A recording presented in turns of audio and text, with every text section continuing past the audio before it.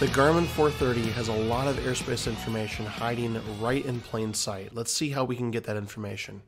First, how many of you have seen this ugly looking screen that to me, you can't really get much information from. This is the default navigation screen, and remember these little boxes here, you can change which box you're on by using the, the small inner knob.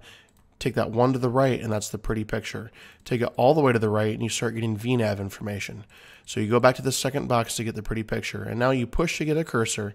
The big knob moves to the right, the little knob moves up and down. And now we can examine this airspace by pressing enter and enter again to review the airspace. And now you can see that the Class Bravo shelf has a base of 4,000 and a ceiling of 10,000. And notice this thing that says frequencies? You can move the flashing cursor over to frequencies and hit enter.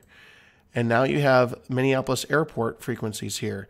The ATIS and the clearance and ground, that's all useless. But if you move down to the approach and departure frequencies, you can start figuring out which frequency is for what by hitting enter when you're over the info. This shows you that you are on the north or west arrival runway. So that tells you that you might not want to use this for VFR flight following.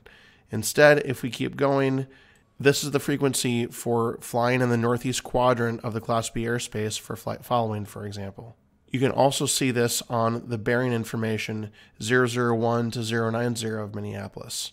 So you hit enter to be done, and you need to scroll all the way up to be done, or if you're just totally done, you click and hold the clear button, and that will bring you back to your ugly nav page. One little knob turn to the right, and you're back to the pretty picture. That's how easy it is to get all that airspace information right from your 430 without even opening your iPad. Thank you for watching. I'll see you next time.